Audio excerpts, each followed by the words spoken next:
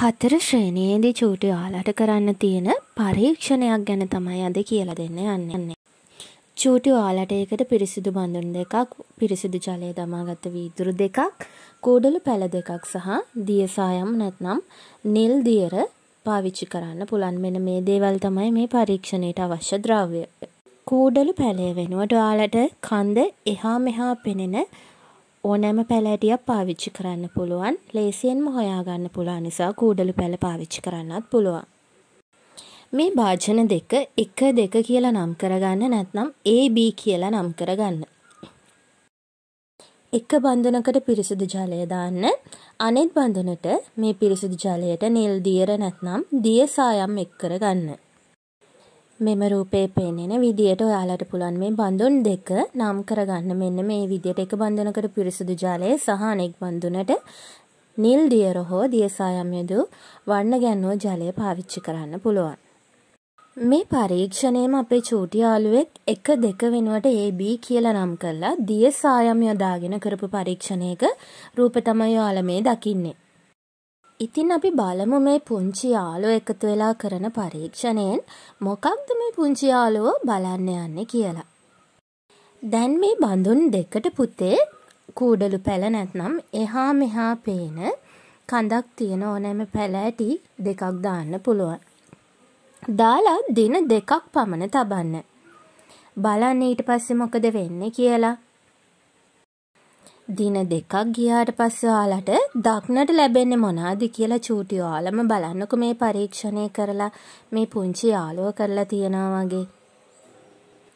මේ විදියට දින දෙකක් ලැබුවට පස්සේ පුතේ චූටි ඔයාලට දකින්න පුළුවන් පැහැදිලි ජලය නැත්නම් පිරිසිදු ජලය දැමූ කූඩලු ශාකයේ කිසිම වෙනසක් වෙලා නැහැ. ඔයාලා දැමූ ශාකයේ කිසිම වෙනසක් වෙලා නැහැ. නමුත් දියසායම් එක් කරපු මේ පාට කරපු ජලය එක් කරපු භාජනයේ තියෙන කූඩලු ශාකය නැත්නම් ඔයාලා යොදාගත්ත ශාකයේ මෙන්න මේ විදියට කඳ රතු පැහැගැන්වෙලා තියෙනවා. අපි රතු දිය සායම් පාවිච්චි කරපු හින්දා කඳ මේ විදියට රතු පැහැගැන්විලා තියෙනවා. දැන් චූටි ඔයාලා කල්පනා කරනවා නේද මොකක්ද මේකට හේතුව කියලා. අපි වතුර දිය කළා මෙන්න මේ විදියට තමයි අපි බඳුන් දෙකට පැලේ දානකොට අපේ පැලේ දිස්සුනේ. හැබැයි දවස් දෙකක් විතර තිබුණාට පස්සේ කලින් කොළ පාටට තිබුණු කඳ මෙන්න මේ විදිහට අපි දිය කරපු වතුරේ පාට අරගෙන ඒ කියන්නේ රතු පාට දිය කරපු නිසා කඳත් රතු පාට වෙලා තියෙනවා. මේකට හේතුව මොකක්ද කියලා චූටි ඔයාලා දැන් කල්පනා කරනවා ඇති.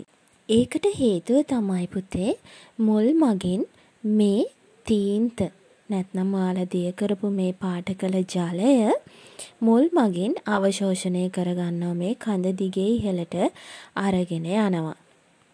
ඉතින් චූටි ඔයාලා හිතන්නකෝ මේ පස ඇතුලේ තියෙන මුල් මගින් පසේ තියෙන මේ වගේ ජලය ශාකයේ වර්ධනය වෙන්න ඕන අවශ්‍ය සියලුම පෝෂක කොටස් උරා ගන්නෙත් ඔන්න ඔය විදියට.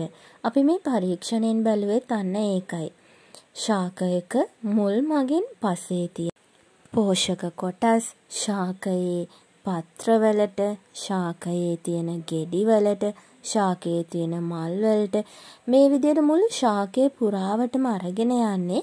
මෙන්න මේ විදියට මුල් මගින් පසේ තියෙන සියලුම පෝෂක කොටස් ජලය උරාගෙන. දැන් චූටි ඔයාලට මේ පරීක්ෂණයෙන් අපි බලන්න ගිය එක පැහැදිලි.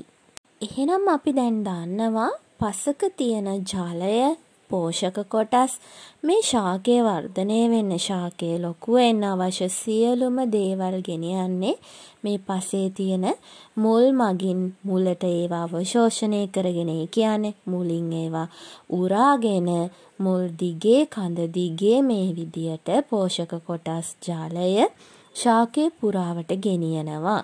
එහෙනම් ඔයාලට මේ පරීක්ෂණයෙන් හොයාගත් එක දැන් පැහැදිලි. එහෙනම් චූටි ඔයාලට දැන් ලියන්න පුළුවන්. මෙන්න මේ පාට කළ ජලය දැමූ බඳුනේ ශාකයේ තිබ්බ වෙනසට හේතුව කුමක්ද කියලා කුමක්ද වෙනසට හේතුව වන්නේ? ඇයි ඒ විදියට කඳ රතු පැහැගැන් වෙලා තිබුණේ? හේතුව තමයි පුතේ ශාකයට අවශ්‍ය ජලය මුල් මගින් උරාගෙන කඳ දිගේ ශාකය පුරා ගමන් කරවන නිසා නේද? එහෙනම් දැන් අපිට මේ වෙනසට හේතුව පැහැදිලියි. ශාකයක මුල් මගින් මේ ශාකය වර්ධනය වීමට අවශ්‍ය ජලය, පෝෂක කොටස් මේ හැමදේම උරාගෙන නැත්නම් අවශෝෂණය කරගෙන කඳ දිගේ ඉහළට ගෙන යන නිසා අපි රතු පාටින් දිය කරපු මේ පාට කරපු ජලයත් අන්න ඒ විදිහටම එයා මුල් මගින් උරාගෙන කඳ දිගේ ගෙනිච්චා. අන්න ඒක තමයි මේකට හේතුව. බී බඳුනේ මේ විදියට වෙනස්කම් ඇති වෙන්න හේතුව දැන් ඔයාලා ඉගෙන ගත්තා. එහෙනම් මේ වගේම චූටි ඔයාලට වැදගත් වීඩියෝ එකකින් අපි නැවත හමු වෙමු.